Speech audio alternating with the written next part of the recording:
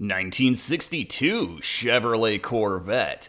And I love this car. And I already know what you're thinking. It's Cars and Zebras. If you love this car, well, then you must have a tiny dick. Yeah, I do.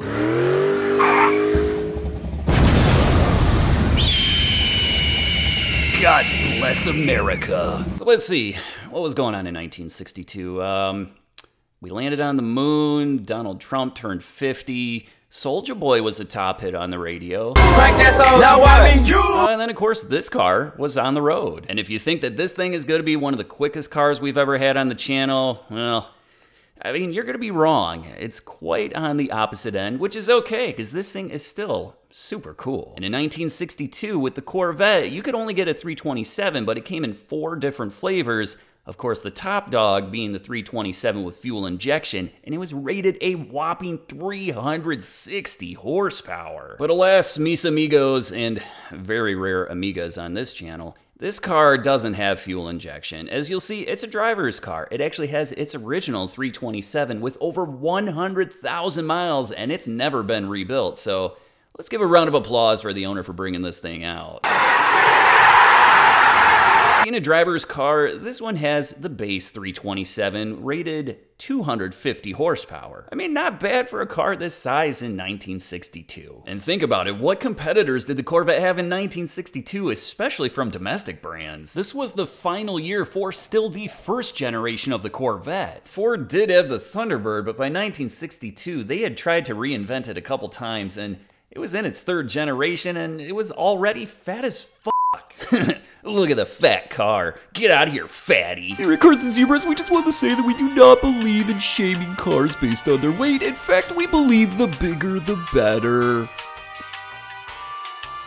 Let's get back to that base model 327 V8 in this specific Corvette. It was rated 350 pound-feet of torque at only 2,800 RPM. Pretty impressive. And I can already hear the Chevy guys. They're saying, "Ooh, let me just see that stick inside. The, oh, I want to yank on it." Ooh, oh, oh, oh. oh.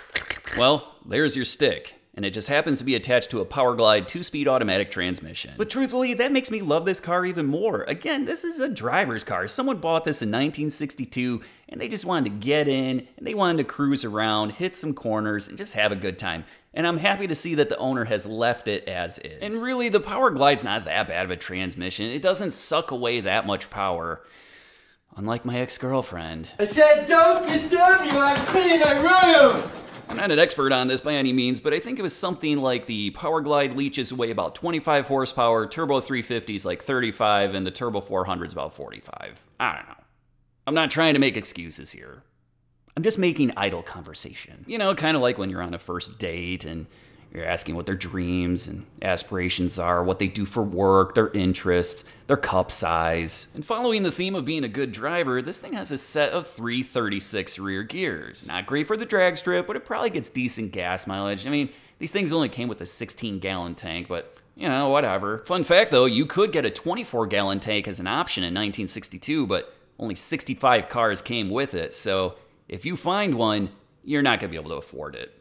Cause you're a poor little bitch. Welcome to another episode of Top and Bottom Comments. The top comment from the last video comes from Cheeseburger Kid 1329. They state, I had a 67 Cougar in my late teens. Thank God it only had a 289. If it had the 428, I probably wouldn't be alive today. Thanks for the comment, Cheeseburger Kid. I would have loved to have had a 67 Cougar when I was a teen. Meow. the bottom comment comes from Blade Runner 25463C stating, I'm gassy.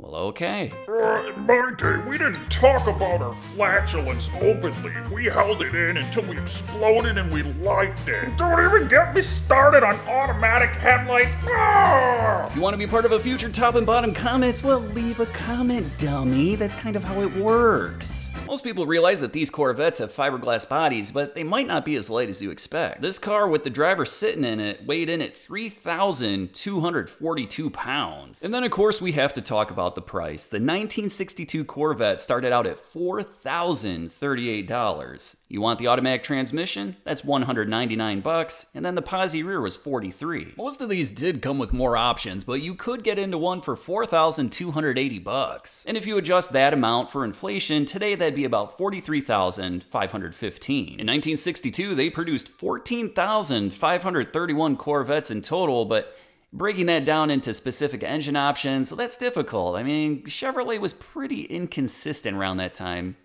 Kind of like me with my uploading schedule. 1972 Ford Gran Torino Sport. Get off my lawn. Whoa, Clint. All right, let's chill, brah. We used to stack like you five feet high. Whoa, whoa, whoa. What do you mean, like me?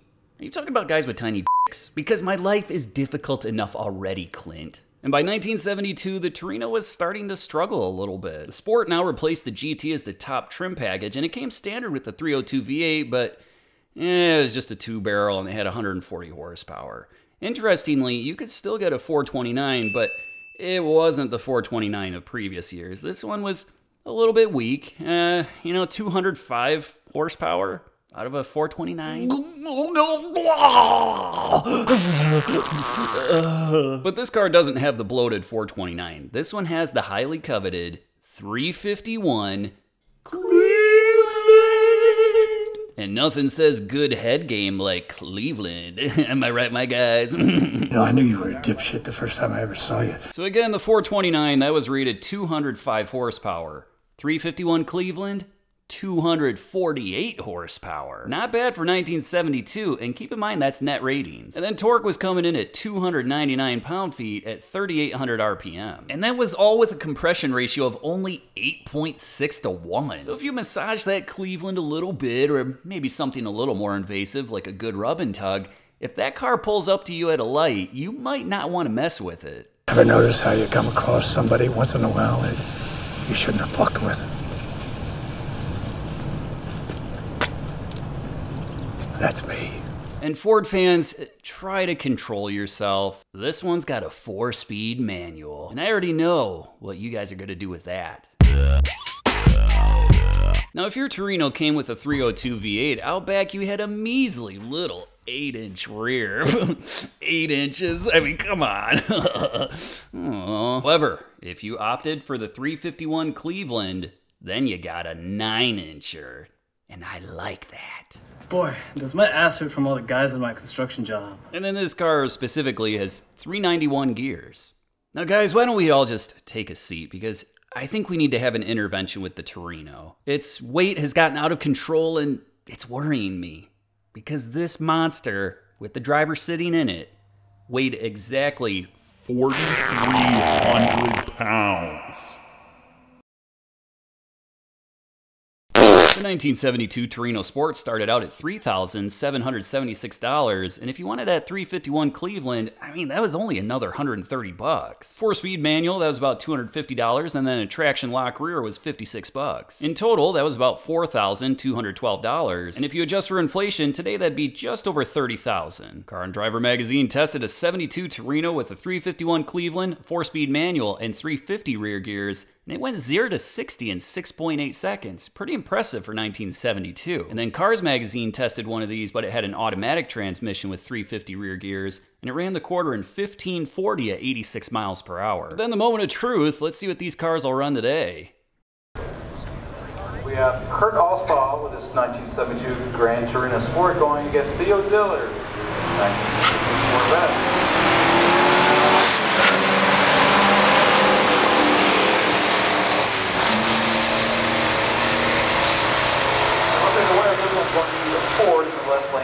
at 87 miles per hour. In the first round, it's the Ford that takes home the win, running 15.87 seconds at 87.89 miles per hour. In the other lane, the Corvette ran 1621 at 84.47 miles per hour. Let's see what happens in round two. 1972 redesigned Torino for that year. Unfortunately, the horsepower was downgraded from the 71 like everyone did.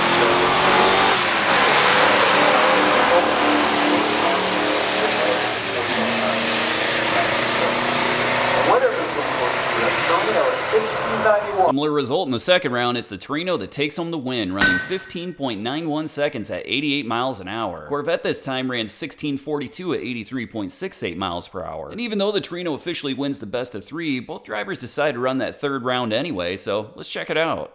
This uh, 1962 Corvette In the right, going against uh, that Corvette's all original, sold new with Dave White Chevrolet, Middle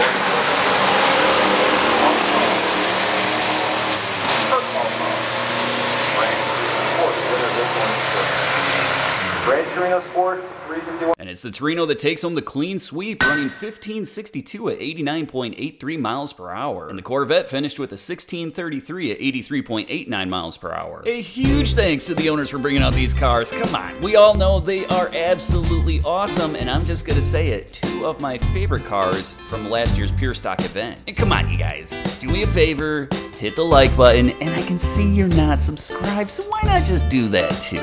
See you at the next one.